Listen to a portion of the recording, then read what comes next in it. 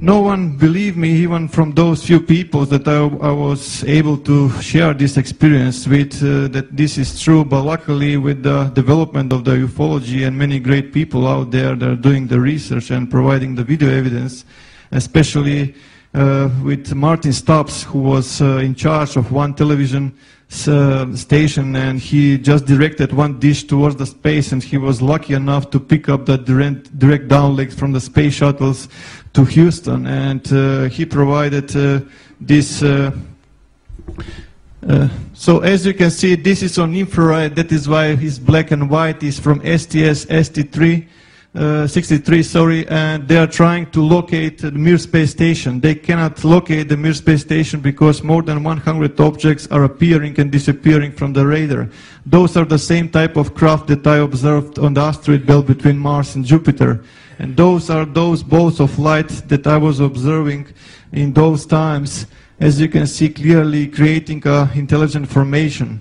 So you can see we are never alone and the evidence is all there and they're keeping this secret which is not uh, uh, the right way to do. Every time that when there is a storm, you can be completely sure that there are more than 200 objects above the sky charging from the released energy from the thunderbolts. Exactly the same as we go with our vehicles into the petrol station to refuel, they are refueling their propulsion systems with this orgone energy which is discharged from, from the thunderbolts. So this uh, led to the direct contact with the extraterrestrial races. Many of those contacts were positive and, and beautiful, but some of the contacts were extremely aggressive. I got in, in conflict with certain races, one of which was uh, the Gray Collective, and uh, I can confirm that we have a presence from both polarities, both positive and both negative. My life afterwards went into the into direction that I was trying to help uh, uh, as as many as possible, giving my knowledge to all the people who is open to, to this. Uh, like I mentioned on the beginning, I just developed a special relationship with every student of mine and I was trying to help him as much as possible to achieve the same. So in my perspective, this is the way we have to go back to the nature and we have to unite with that energy, understand that energy and how to, how to direct this energy.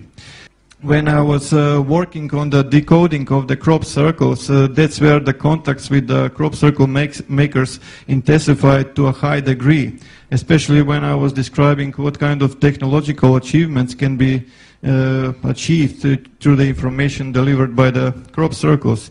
So as you can see here, those balls of light are everywhere. And from the Sri Yantra, there is a huge ball of light everywhere. Every time when I was actually working on this, uh, for, for example, this is one group that I worked in in, uh, uh, in Melbourne. As you can see, those orbs are everywhere. Please pay attention to this region here. You will see one of those balls of light penetrating. It's completely intelligent, as you can see, and they're following me all the time and uh, the progression that, that is made.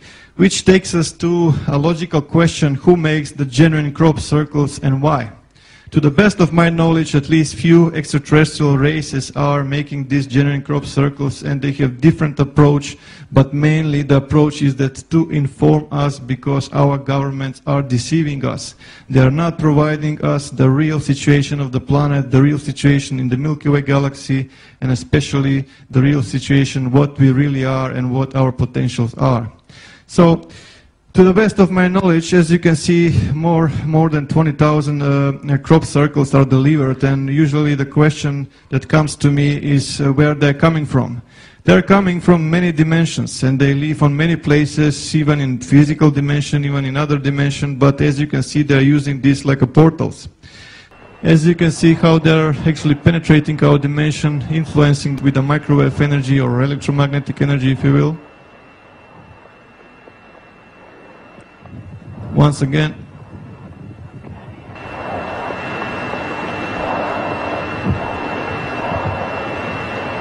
Okay.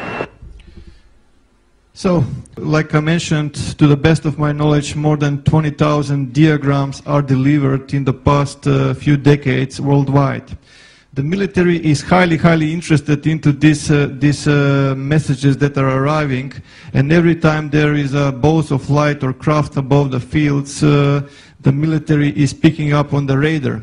Immediately there is an order for the fighter jets or the helicopters to intercept uh, those boats of light and to avoid eventual delivery of information, which is of information, excuse me, which is very, very vital for humanity.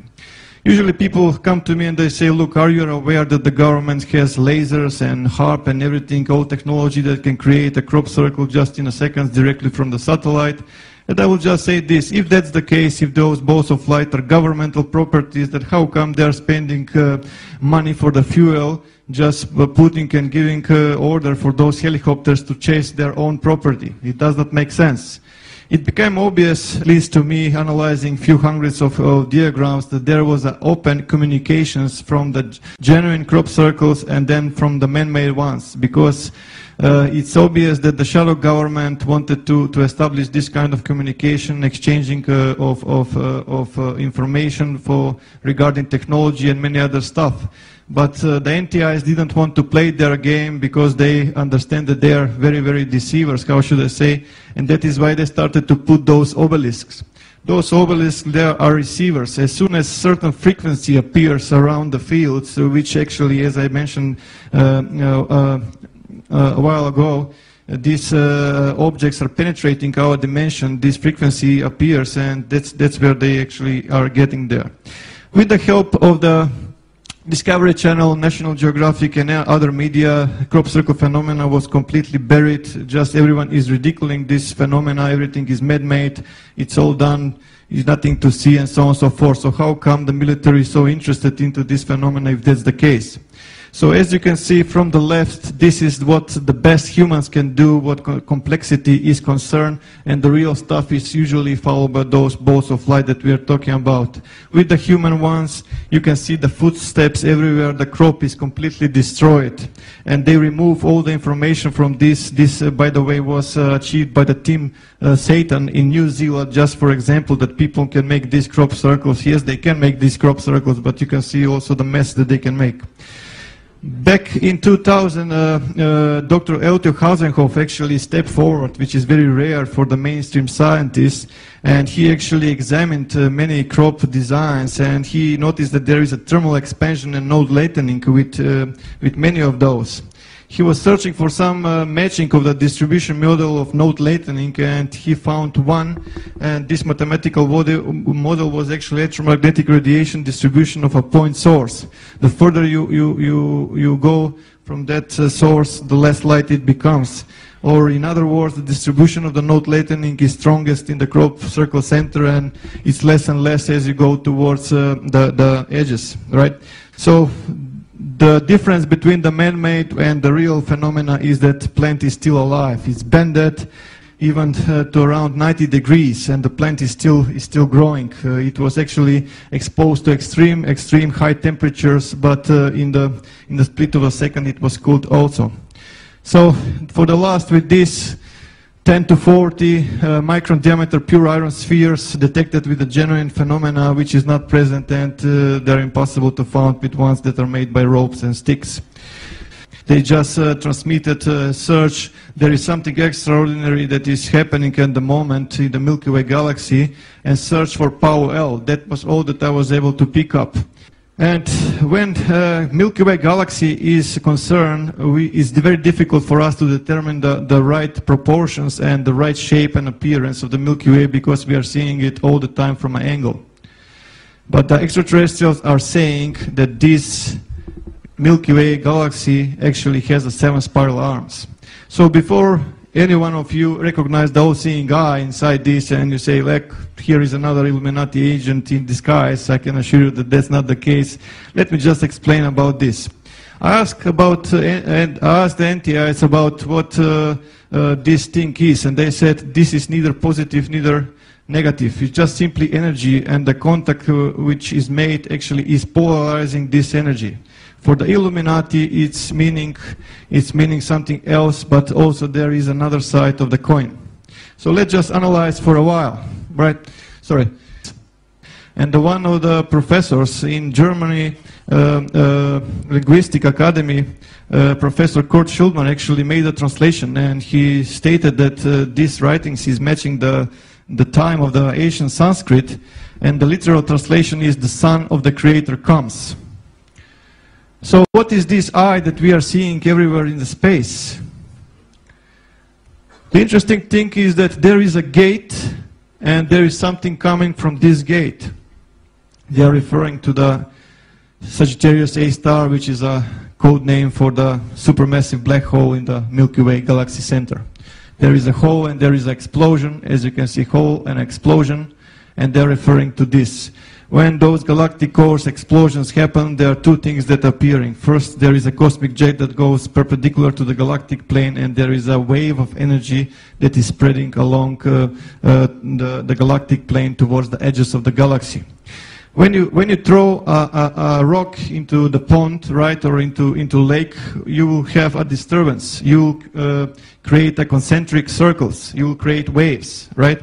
So that's the same what they they are saying. There is a wave. Watch out that there is a wave. And the wave is coming from the galactic center. Again, you can see a plane with birds in two directions. They're actually referring to the galactic plane because they inform me what they're trying to say. And even more birds going into, into two directions, and they're referring to this, and I will, I will explain this in more detail. The energy is extreme, is, is, is uh, going towards the edges. It's massive, it's flying, it's flying fast. It's going to hit the sun. When it's going to hit the sun, it's going to change how the sun is spending its fuel, is going to produce that sun moves from its so-called main sequence into what is known red giant phase. So what will happen in our solar system in the near future, right? So for this we can analyze the pictogram that arrived on July 15, 2008. It is obvious a solar system and when you analyze you see that it's completely matching our solar system and the planets in it. So they even left a dot for a moon and also they left a ring for Saturn. Again, the anomaly was found and uh, the, the crop is not destroyed by the mechanical force. So another parallel so it's not the first time that those amazing uh, blue displays are, are, observed from International Space Station. So someone is referring us very strongly that we pay attention to certain time frame to a point in time, which is 23rd of December 2012.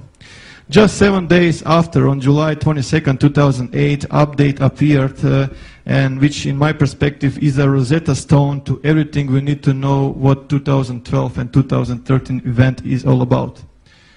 So let's just analyze this for a while. Our sun is not in the same in, in, in the same size anymore. It it become bigger. Uh, Mercury was fallen and Venus was fallen, which leaves us Earth and Mars dangerously close. There is some kind of object appearing uh, very close to, to our solar system, which exactly if you apply astrophysics and you find astronomical charts, you will find that it, will it, is, it is coming from the Virgo constellation. And uh, when I checked the astronomical charts for a new moon in 2012, December, I found that actually it's appearing on uh, December 13, 2012, which is, which is uh, uh, when we will start to observe from the sky something that is approaching from the Milky Way galaxy. And uh, down further, we can see different uh, symbology here, a Milky Way galaxy with the depicted galactic plane, cosmic snake, cosmic kundalini or nexus or whatever suits your terminology, snail, spiral, again a new moon, and uh, two stars in Ophiuchus star constellation, which is uh, very close to a sun in that particular time. But sun changing uh, size, is, is that possible? Definitely it is. This is just a, a small example of the, of the life of a star. From the stellar nebula, we, from, from the gravity, we get two type of stars, average star and a massive star. Average stars is the type of star that our sun is at the moment, which is a yellow dwarf type of star, yellow because of the color of the, of the, of the surface, and dwarf because it's a small for a star. When the fuel is exhausted, it moves into the next stage of its uh, life. How should I put it? It becomes a red giant where the, the outer layer gets more cooler, it loses brightness, it gets more reddish, uh, but the core of the star collapses. and eventually the outer layer is released and becomes a planetary nebula and the only thing that, that is left from the star is the so-called white dwarf or the core of the star. And the other ones, which are massive stars, they go into the red supergiants, but they go into supernova, and from supernova they can end up like a neutron stars, stars, excuse me, or mini black